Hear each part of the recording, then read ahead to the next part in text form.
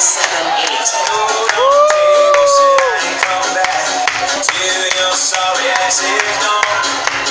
tired of cheating.